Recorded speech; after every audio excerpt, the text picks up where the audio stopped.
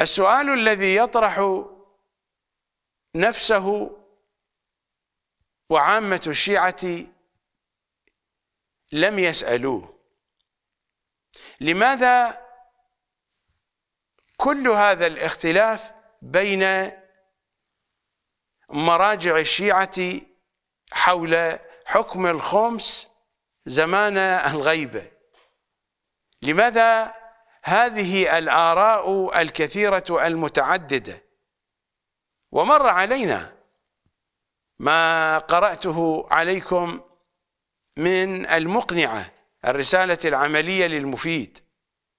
وما قرأته أيضا في النهاية الرسالة العملية للطوسي. وما قرأته أيضا من كتاب شرائع الإسلام. الأمر لا يقف عند تلك الآراء. لقد تشعبت وتشققت. الكتاب الذي بين يدي الحدائق الناظرة في أحكام العترة الطاهرة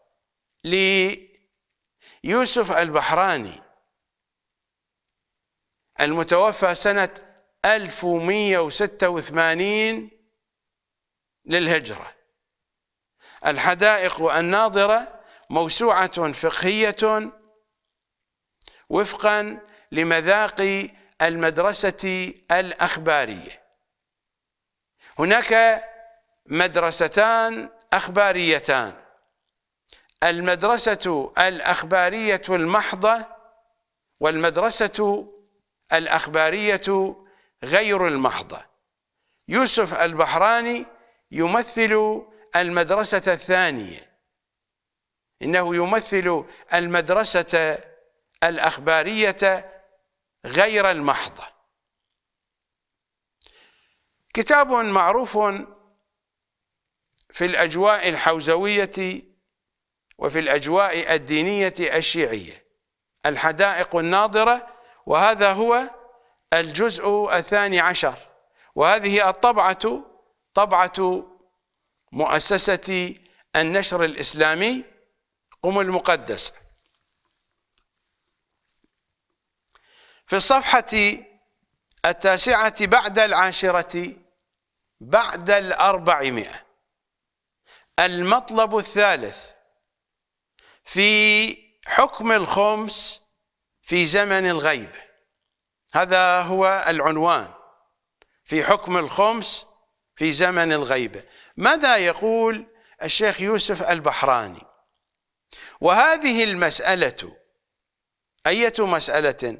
مسألة حكم الخمس زمن الغيبة الثانية. وهذه المسألة من أمهات المسائل ومعضلات المشاكل وقد اضطربت فيها أفهام الأعلام. الأعلام يعني العلماء. وقد اضطربت فيها أفهام الأعلام وزلت فيها أقدام الأقلام. ودحضت فيها حجج أقوام واتسعت فيها دائرة النقض والإبرام. والسبب في ذلك كله اختلاف الأخبار وتصادم الآثار الواردة عن السادة الأطهار. هذا الكلام ليس دقيقا من يوسف البحراني. هذا الكلام ليس دقيقا. المشكلة في الفقهاء أنفسهم. فإما أنهم يحاولون سرقة الخمس بهذه الطرق الملتوية وهم يفهمون النصوص وإما أنهم لا يفهمون النصوص وحينئذ ما هم بفقهاء. ولا توجد حالة ثالثة. والنصوص التي ترتبط بموضوع الخمس لا علاقة لها بزمان الغيبة إلا التوقيع الشريف إلا توقيع إسحاق بن يعقوب. هذا يرتبط بحكم الخمس زمن الغيبة. أما سائر الأحاديث فإنها تتحدث عن حكم الخمس زمن الحضور. ولذا قسمت لكم التأريخ إلى مقاطع مثل ما مر علينا في الحلقات المتقدمة. من زمان رسول الله إلى استشهاد إمامنا الحسن العسكري إلى نهاية النصف الأول من سفارة السفير الثاني زمن الغيبة الأولى إلى بقية التفاصيل التي مر ذكرها ولا مجال لإعادة تفاصيلها ولا حتى لإعادة خلاصتها. لضيق الوقت. إذا المشكلة ليست في اختلاف الأخبار. هذا جهل بالمسألة جهل من قبل يوسف البحراني. المشكلة ليست في اختلاف الأخبار. هناك نص واحد وهو توقيع إسحاق بن يعقوب. هذا النص هو الذي يتضمن حكم الخمس الطيب زمن الغيبه النصوص الباقية وهي كثيرة لا علاقة لها بموضوع الخمس زمن الغيبة الثانية. واعتقد أن البيانات تقدمت. فهؤلاء الذين يقال لهم فقهاء ويقال لهم مراجع ويقال ويقال هؤلاء لا يفقهون شيئا من دين العترة الطاهرة في أحسن أحوالهم أو أنهم لصوص أو أنهم يفقهون النصوص ولكنهم لصوص. وكل خيار أسوأ من الخيار الآخر. هذا هو واقع المرجعية الشيعية. أعيد قراءة كلام يوسف البحراني. العنوان في حكم الخمس في زمن الغيبة وهذه المسألة من أمهات المسائل. ومعضلات المشاكل. هي ليست كذلك هي مسألة بسيطة. إذا ذهبنا إلى التوقيع الشريف فإن التوقيع الشريف واضح. لصوصية المراجع أو سفاهتهم ما هم بفقهاء؟ جهلهم وجهالتهم. وسبب جهلهم وجهالتهم سبب سفاهتهم وسخفهم هو أنهم نقضوا بيعة الغدير. حينما نقضوا بيعة الغدير لم يجدوا ملاذا لهم إلا عند سقيفة بني ساعدة. فحطوا ركابهم عند الشافعي وعند المعتزلة.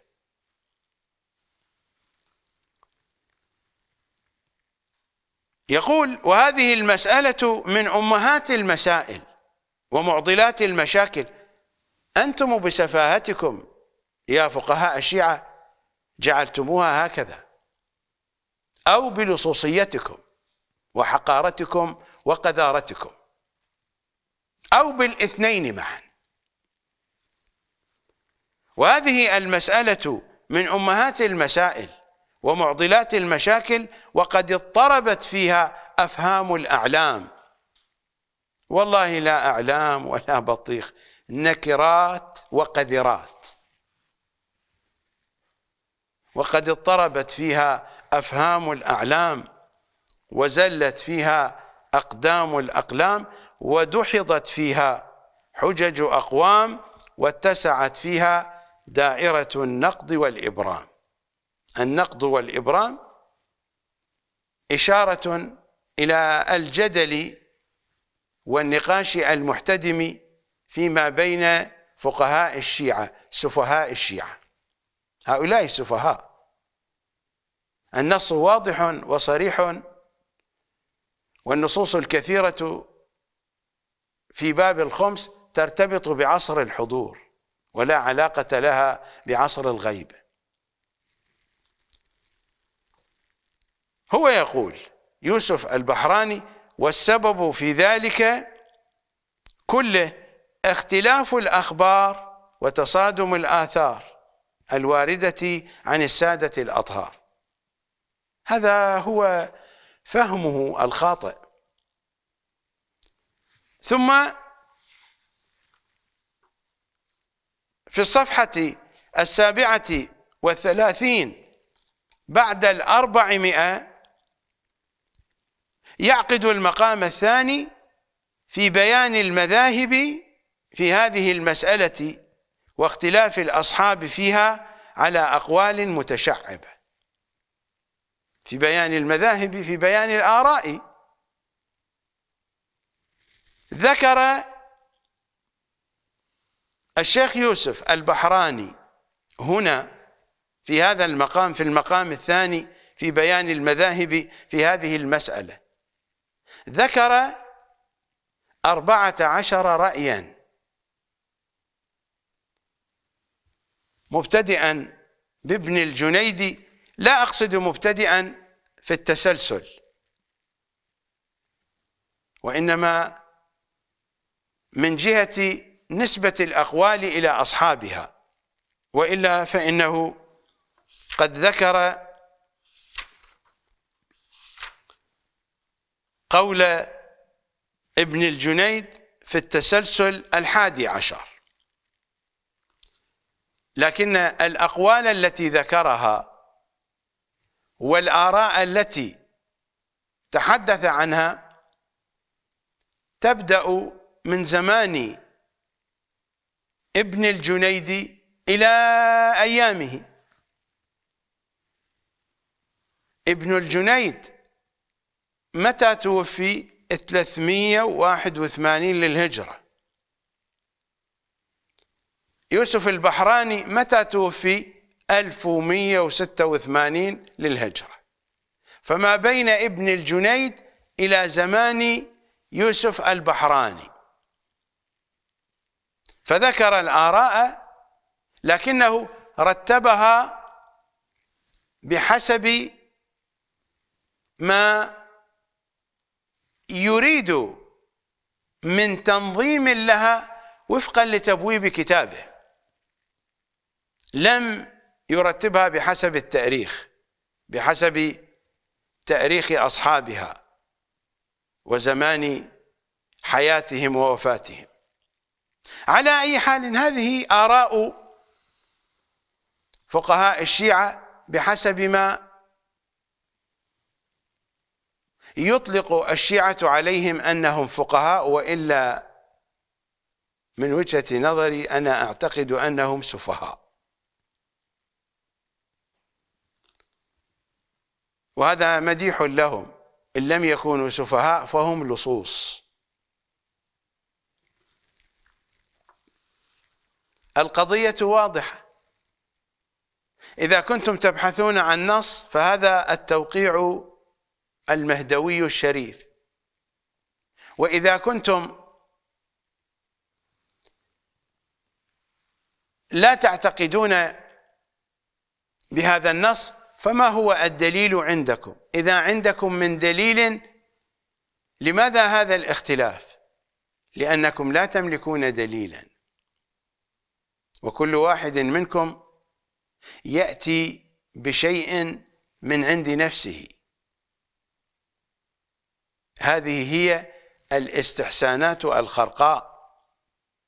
وهذا هو الضلال وهذا هو المنهج الناصبي القذر في استنباط الأحكام الشرعية. هذا منهج إبليس. إبليس اعتمد القياس والرأي والاستحسان حينما رفض السجود لأبينا آدم. ولذا فإن الله طرده ولعنه لأنه استعمل القياس والرأي والاستحسان. هؤلاء فقهاء السوء فقهاء السفاهة والسخافة والضلالة أتحدث عن فقهاء الشيعة اعتمدوا المنهج نفسه. الدليل موجود تركوه؟ ليس عندهم من دليل؟ ذهبوا إلى استحساناتهم العاطلة وآرائهم الباطلة. يخالفون إمام زمانهم. سود الله تعالى وجوههم وقبحوا في الدنيا والآخرة.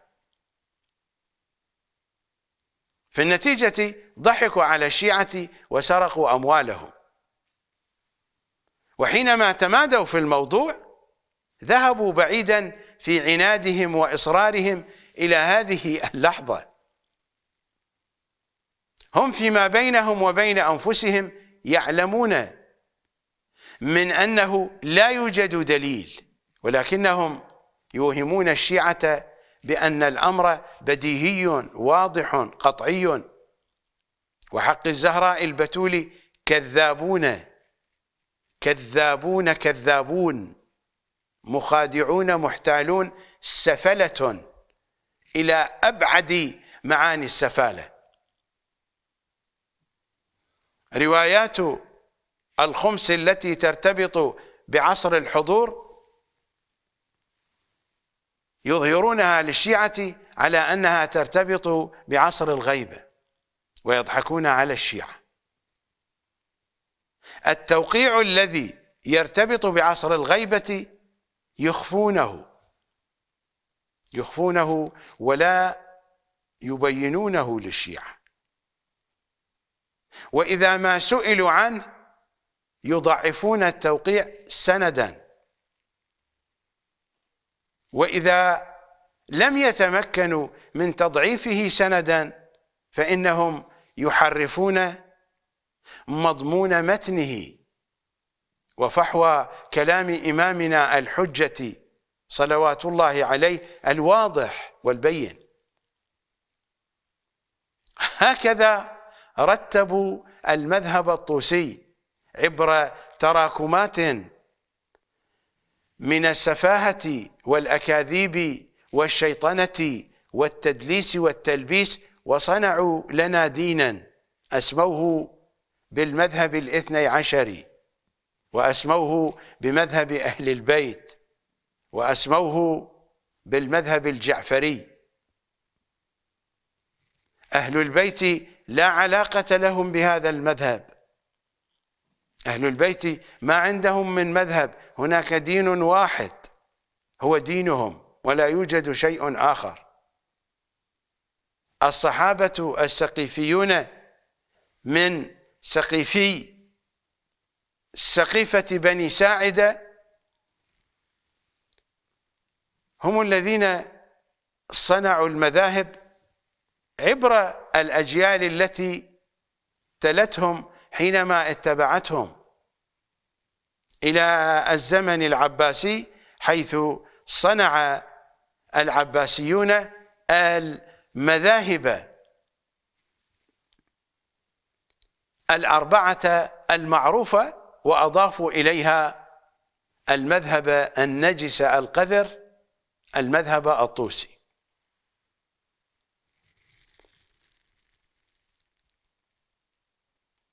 هذه الآراء يبدأ يوسف البحراني بذكرها إلى أن يصل إلى الصفحة الرابعة والأربعين بعد الأربعمائة إنه الرأي الرابع عشر. فها هو قد ذكر لنا أربعة عشر رأيا. من أين جاءوا بها؟ من أين جاءوا بها؟ إذا كان عندهم من دليل صادر عن الإمام المعصوم فهو دليل واحد. حتى لو كان عندهم أكثر من حديث فهناك رأيان أن يصل الكلام إلى أربعة عشر رأيا. هذا أدل دليل على كذبهم وعلى لصوصيتهم. ولذا في بداية حديثي في مقدمة كل حلقة حينما أصف المذهب الطوسي أقول بأنه مذهب الجهالة والسفاهة والقذارة واللصوصية. فهؤلاء إما أنهم جهال سفهاء وإما أنهم لصوص شياطين حقراء. بعد ذلك يوسف البحراني يضيف رأيا من عنده. مو هي ناقصة. يضيف رأيا من عنده. وحينئذ ستكون الآراء التي ذكرت في الجزء الثاني عشر من كتاب الحدائق الناظرة قد وصلت إلى خمسة عشر رأيا. هكذا يقول في رأيه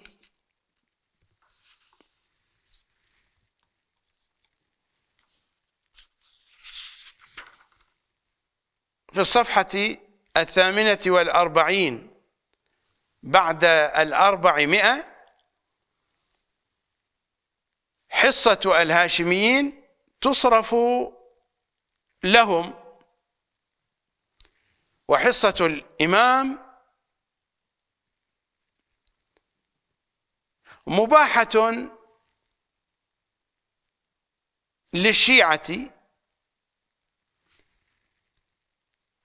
كما يقول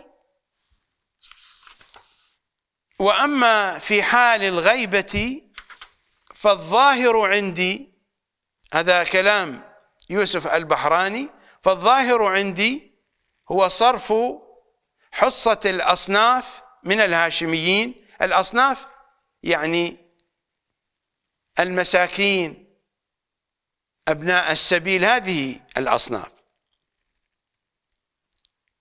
هو صرف حصة الأصناف عليهم كما عليه جمهور أصحابنا وجمهور أصحابنا على هذا القول من دون دليل أو أنهم أقحموا أحاديث الخمس التي تخص عصر الحضور فيما يرتبط بعصر الغيبة صرف حصة الأصناف عليهم كما عليه جمهور أصحابنا فيما مضى من نقل أقوالهم الأقوال التي عددها ووصلت إلى أربعة عشر قولا.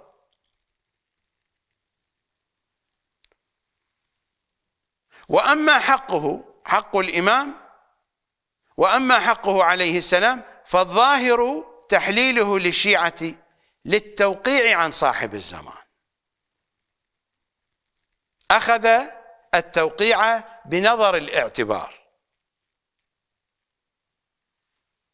لكنه كيف فهم أن التحليل خاص بحصة الإمام؟ وقد بينت لكم فيما سلف من أنه الخمس حصة واحدة. الخمس لا ينشطر إلى شطرين كما يفعل مراجع الشيعة شطر للهاشميين وشطر للإمام. الخمس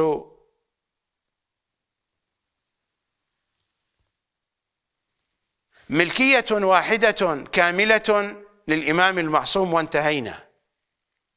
هو الذي يعطي للهاشميين بحسب ما تقدر حكمته صلوات الله عليه. وأما حقه فالظاهر تحليله للشيعة للتوقيع عن صاحب الزمان. ثم يقول والإحتياط في صرفه على السادة المستحقين هو حائر أيضا هو حائر. هذا الذي يعد رمزا في معرفة الأخبار عند الاخباريين هو حائر أيضا هو حائر أيضا. مع أن الأمر واضح جدا مثلما بينت لكم وشرحت لكم. هذه الحيرة هيمنت على فقهاء الشيعة الذين ما هم بفقهاء. هؤلاء سفهاء. على الأقل هم سفهاء في هذه المسألة. إن كانوا فقهاء في غيرها فهم سفهاء في هذه المسألة. فإذا كانوا سفهاء فإنه لا يجوز للشيعة أن يعملوا بآراء السفهاء. هذا كتاب الحدائق أعتقد أن الفكرة صارت واضحة لديكم. هؤلاء الذين يقال لهم مراجع كل واحد منهم يأتينا ببدعة يأتينا باستحسان برأي من آرائه. السؤال أين حكم العترة الطاهرة. أين حكم إمام زماننا؟ لماذا كل هذا الإعراض؟ وحتى من قبل يوسف البحراني لماذا أخذت آراء السفهاء بنظر الاعتبار؟ يوسف البحراني أخذ آراء السفهاء بنظر الاعتبار أخذ التوقيع بنظر الاعتبار وجمع بين سفاهة سفهاء الشيعة الذين يقولون عنهم فقهاء وبين ما جاء في التوقيع الشريف. وهذا أقبح من القبيح. كيف نجمع بين سفاهة السفهاء مع حديث المعصوم. هذا توقيع من المعصوم. وبعد ذلك تراجع عنه وأفتى بالاحتياط في صرف حق الإمام على الهاشمي.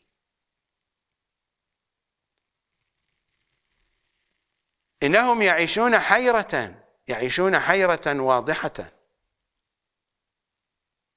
لماذا؟ لأنهم لا يلجؤون إلى إمام زمانهم. هذا هو السبب. نذهب إلى فاصل.